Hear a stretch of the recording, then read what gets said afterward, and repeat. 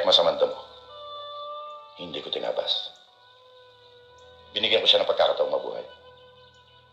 Dahil naniniwala ako na matutupad din ni Parang Pedrin ang pangarap niya sa kanyang anak.